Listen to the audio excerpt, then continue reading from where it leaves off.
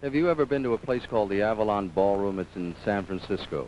If you have, you know the audiences there are very, uh, what's the word, placid, very quiet, passive. Uh, if they enjoy somebody, they give them some polite applause, and that's about the extent of it. The particular group you're about to see and hear has torn that place apart. They go crazy when these people are there. You, you said you'd heard of these people. What, what do you hear? Oh, I just, they're fantastic. They are indeed. You can see by the wall of sound behind them that it's going to sound like anything but a trio. You're going to see and hear a great deal of this group. Ladies and gentlemen, Blue Cheers!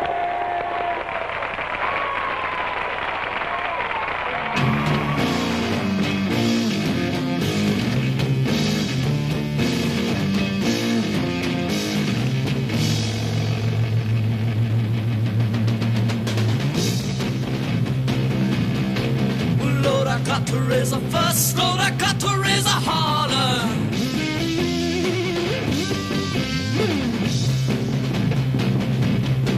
About a working on something just to try to earn a dollar. Well, Lord, I tried to call my baby. I tried to get a date. Sometimes I wonder what I'm gonna do. Lord, there ain't no for the summertime blues. Oh, well, my mama, papa told me, son, you got to make some money.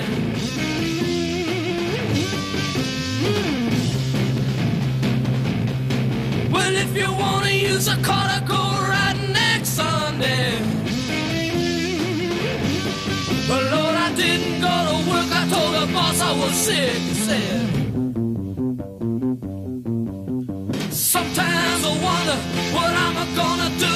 Lord, there ain't no cure for the summertime blues. I've got to take the weeks. I've got to have a fine vacation.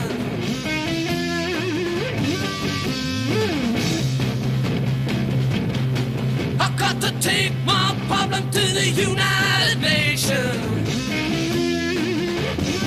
I done told my congressman and he said, quote, dig boy.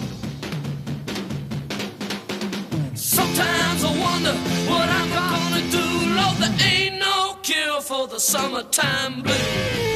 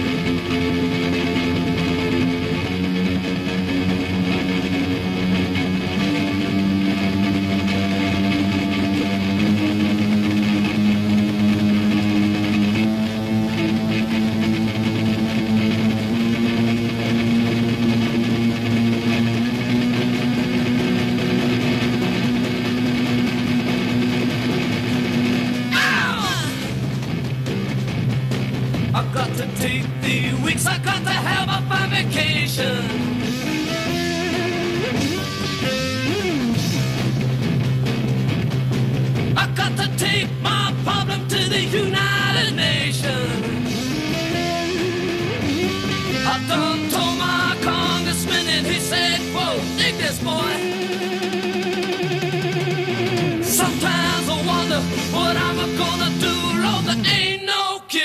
The summertime blues. Wow.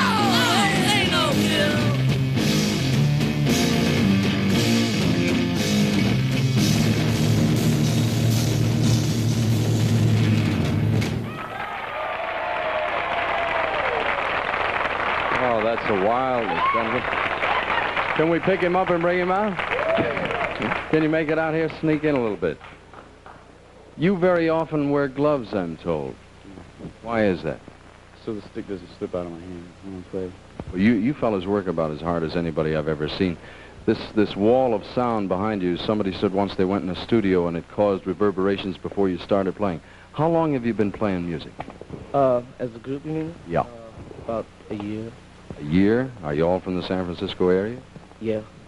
What? How do you differentiate your style of music from anybody else's? What makes Blue Cheer different? Heavy. Heavy, man. It's a heavy sound. You work harder too. Do you have a philosophy about working for an audience? You know, there was a time when a lot of people just uh, stood and played. Do you do anything different when you work out? Oh, it has to be visual.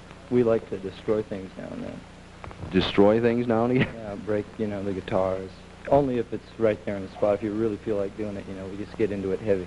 You, you don't do it as a, as a shtick. You have to feel it before you get to that point. What are your future plans? Have you have you traveled much up and down the coast or far away? We're so spread, spread apart. Let's sneak in here, and then I can pass this mic around. been as far as uh, far away as Denver, but like uh, Chicago, New York, and London, they're all in there. And they're coming up soon, I hope. Look forward to seeing New York. Yeah, very, yeah, a lot. Heard a lot about it, man. It's one of the most unusual cities in the world. Where would you like to go if you had your, your preference of travel? Uh, Kashmir. Kashmir? Yeah. Take me along when you go. Ladies and gentlemen, Blue Cheer, if you will, please. Thank you very much.